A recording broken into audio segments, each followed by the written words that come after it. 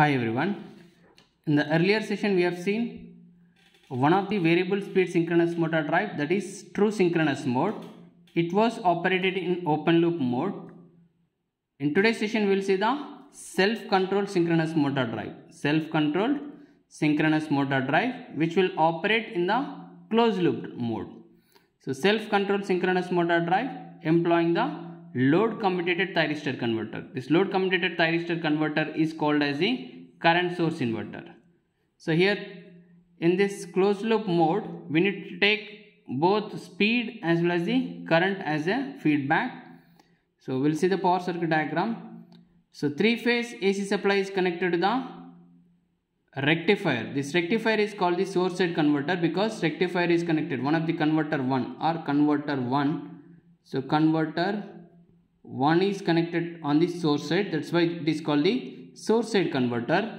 And converter 2 is connected to the motor side or load side that's why it is called the load side converter. So between the source side converter and load side converter will connect the DC link inductor to remove the ripples in the current output current of the source side converter. So from the output or from the motor side we'll use the terminal voltage sensor which will give frequency as well as the speed. As the speed as a output terminal voltage sensor is used to get both frequency as a and speed as a output. And the speed is connected to the or speed is compared with the reference speed. The reference speed difference between the actual actual speed difference between the reference speed and actual speed will give the error in speed. This error in speed need to be processed through one of the speed controller. The speed controller may be PI controller. The PI controller output need to be connected to the current limiter. Because these are these converters are rectifiers it will give only positive side current. That's why only we'll use the current limiter in the positive side only output of the speed control if controller if it is goes beyond the current limiter value or limits of the maximum value of the current limiter then it need to be saturated.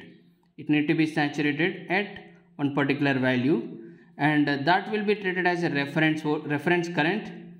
So from the reference speed we are getting the reference current your reference speed is compared with the actual speed which we are getting from the sensor. As a rotor position sensor uh, or terminal voltage sensor will get the actual speed. So the difference will give the error. By processing that error through the speed controller will get the actual reference current. The reference current need to be compared with the actual current. The actual current we will get it from the DC link. DC link. The DC link is connected with the current sensor from the current sensor current sensor will measure the current actual current and the reference current and actual current will be compared. The difference between the reference current and actual current will give the error in current. That error in current will be connected to the current controller. Here current controller is one more PI controller. This is PI2 controller. One of the PI1 controller is this one. So first PI controller second PI controller the output of the PI controller or current controller is given to the triggering circuit. The triggering circuit need to generate the six firing pulses. The six firing pulses is connected to the source side converter because source side converter is nothing but rectifier because three phase rectifier will have six controlling switches. The six controlling switches need six firing pulses. Those six firing pulses we are getting from the triggering circuit so this triggering circuit will generate the six firing pulses with 60 degrees difference. Okay. So this is the closed loop path. And to get the control or firing pulses for the load side converter the error gen, the EWM need to be given to the sine of E omega m where the output of the sine of E omega m will give the 180 degrees phase displacement and that will be given to the phase delay. Here phase delay is used to give the delay for the frequency as well as this sine of E omega m. And because we should not give the we should not change the frequency instantly. It needs some delay. So that delay is provided here and that will be given to the firing circuits of the load side converter. Again this load side converter also need to generate the six firing pulses.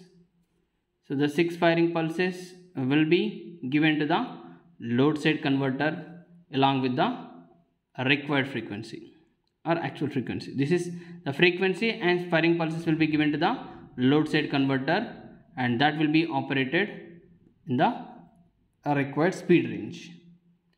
So here in the closed loop one is current loop, inner loop is current loop, outer loop is speed loop.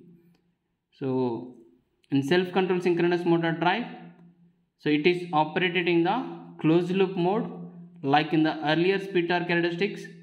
Earlier we have changed the frequency reference frequency is provided every time as it is in the open loop mode.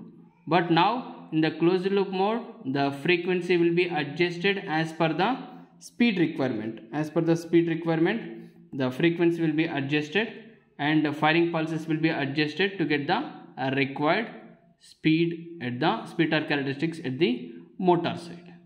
So this is all about the self-control synchronous motor drive so which is employed by the load commutated thyristor converter.